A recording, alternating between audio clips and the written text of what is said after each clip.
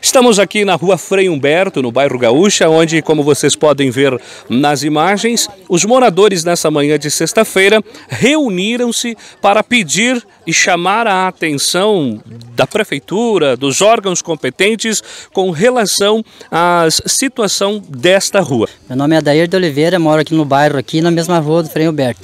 É assim, ó, isso nós já fizemos há 15 dias atrás, nós já fechamos aqui. E, e eles fizer, ficaram de falar, vim aqui no caso, né?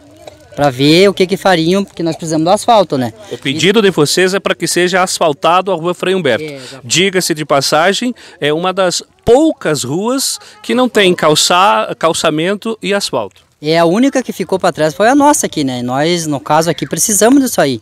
No caso, ó, dia de sol nós comemos poeira, no caso aqui, dia de chuva, barro. Nós estamos abandonados aqui, então isso aqui é um direito nosso.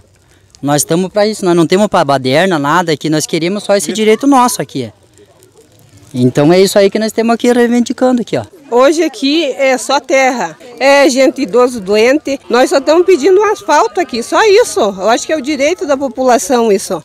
Tá dado o recado, é a nossa manifestação acompanhando aqui na rua Frei Humberto, no bairro Gaúcha, esse trabalho, esse pedido feito pelos moradores, principalmente dessa via, para que venha trazer uma solução com relação ao calçamento ou ao asfalto aqui nessa rua, porque, diga-se de passagem, é a única do bairro que ainda não recebeu as devidas melhorias.